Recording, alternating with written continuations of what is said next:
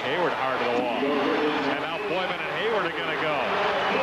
But they're just grabbing onto one another, and I don't think any punches are going to be thrown. But look at the equipment fly. Players are throwing their gloves and their sticks and their helmets and everything else.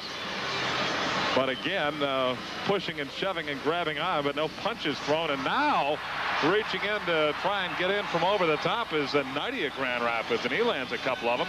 Ramsay right there as well. He's paired off with Craighead. That could be a battle.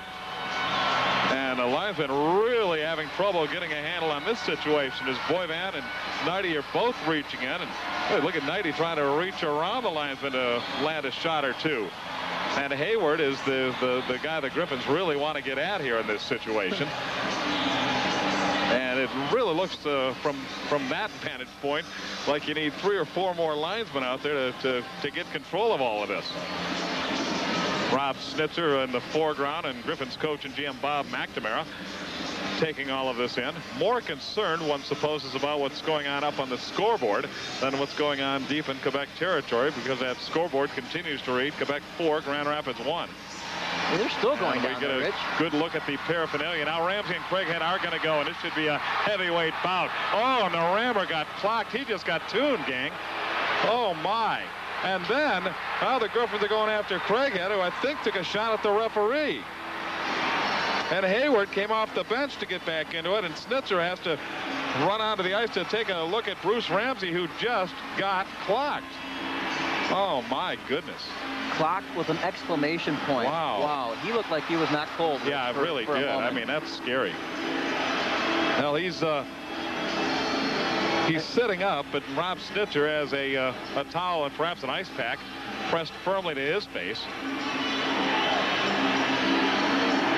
Boy, and, Bruce uh, is not getting up either.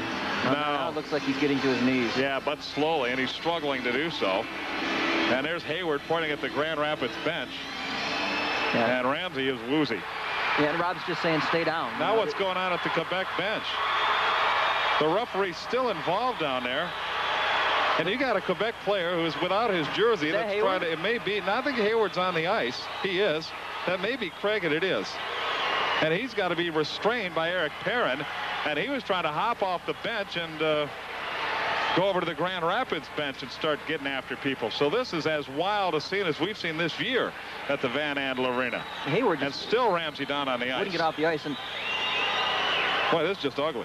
yeah, I've got a feeling Ramsay, you saw his forehead really bleeding uh, profusely up there. I think he obviously hit the ice hard, and I think he hit his head on the ice when he fell, too.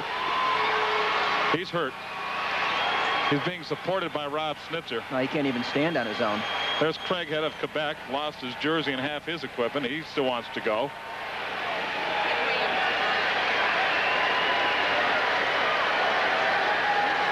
So finally, with a lot of help, Bruce Ramsay is being taken off the ice. Hanging on to Mark Cornforth and Todd Nelson.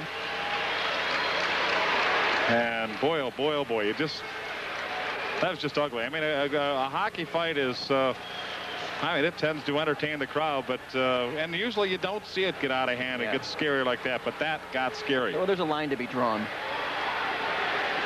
And Bruce Ramsay, I mean, obviously with 31 fighting majors this year, because the kind of guy who can handle himself in a fight, and I'm not sure what happened down there, that uh, that he would be so wide open that he he just got hammered and uh, just about got knocked out uh, knocked out cold. Well, you see so many punches flying, and a majority of them don't hit. Nobody's getting hurt, but uh, and I don't even know who hit them. To tell you the truth, there was so many players down there. I didn't see who squared off with Bruce, but whoever.